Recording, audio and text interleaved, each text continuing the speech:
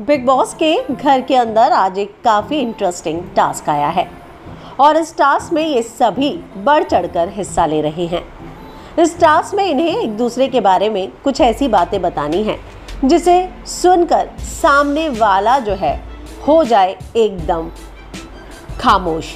और इस तरीके से अब यहाँ पर देखने को मिलेगा कि शिवानी को लेकर चंद्रिका ने बहुत सारी बातें कही, लेकिन शिवानी जो है, वो अब चंद्रिका के साथ जब बाहर बैठी थी तो चंद्रिका शिवानी को कहती हुई नज़र आई कि मैं तो तुम्हें बस यही समझाऊँगी कि तुम जो कुछ भी करना, अपने आप सोच समझ कर करना।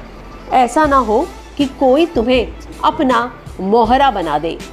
ऐसा ना हो कि यहाँ पर तुम्हारे साथ जो लोग बनने की कोशिश कर रहे हैं, तुम्हारे दोस्त, वो तुम्हें साइडलाइन करके आगे बढ़ जाए। वो तुम्हारा फ़ायदा उठाए और तुम देखती रह जाओ। शिवानी ने चंद्रिका की ये सारी बातें सुनी और उसके बाद चंद्रिका को जवाब देती नज़र आई।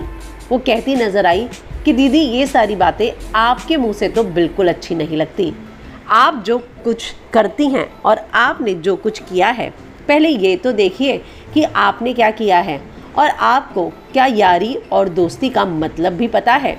मैंने तो दोस्ती इन लोगों के साथ बैठने के बाद सीखी है। इनके साथ बैठकर मुझे समझ में आया है कि दोस्ती क्या होती है। इन लोगों की वजह से मुझे पता चला है कि दोस्त क्या होते हैं। और आप किसी के बारे में कुछ भी कहिए, लेकिन मैं इन लोगों के बारे में कुछ भी नहीं सुन सकती। मैं इन लोगों के बारे में कुछ भी बर्दाश्त नहीं करूँगी।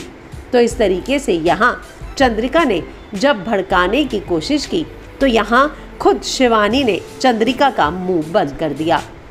आपको क्या लगता है इस बारे में? कमेंट में अपनी राय लिखकर ज़रूर बताएँ, लेकिन उससे पहले हमारे चैनल को सब्सक्राइब करना ना भूलें।